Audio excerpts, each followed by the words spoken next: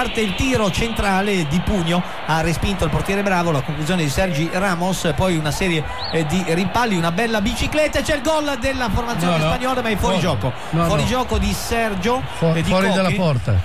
sì dimmi allora Tardelli Fuori dalla porta. Non ha, non ha- non ha preso la porta. Guarda.